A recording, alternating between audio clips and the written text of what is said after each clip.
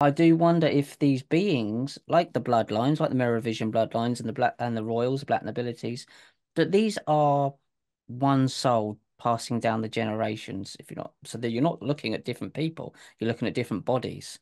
So that's what this Yeah. bloodline is about. Have you kind of heard of anything along those lines?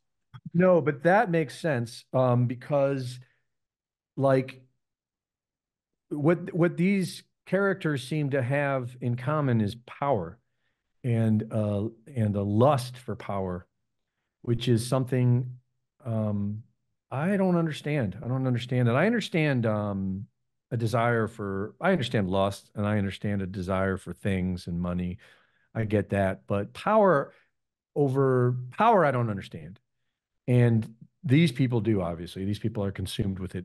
And so, in that sense, death is a different story. Like, if power is your main thing, and and you can see it handed down in families. That's why these families interbreed. At least that's one of the reasons they interbreed is they want to, you know, the, that's what uh, Rothschilds admitted. There's a video of, of one of the Rothschilds admitting that that's why they interbreed is because they they want to keep that power.